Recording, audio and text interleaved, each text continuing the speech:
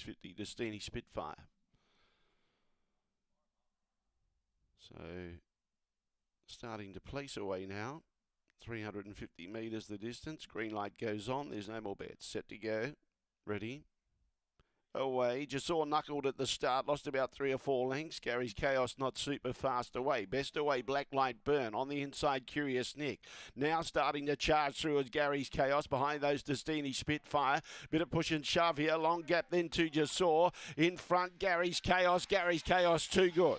Curious Nick got up for second. Third, Black Light Burn. Then Destiny Spitfire. And saw knuckled at the start and cost itself any winning chance at all.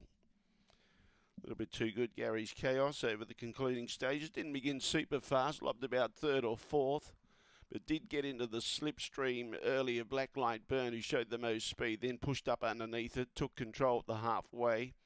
A little bit of bumping all the way up the straight, making ground was Curious Nick, and they burn off Destiny Spitfire in the end, and just just blew it at the start. 4, 1, 6 and 8 should be the judges' numbers. There they are, 4, 1, 6, 8, 19, 36 the time. One and a quarter by three quarters. And Gary's Chaos, too good in race number two.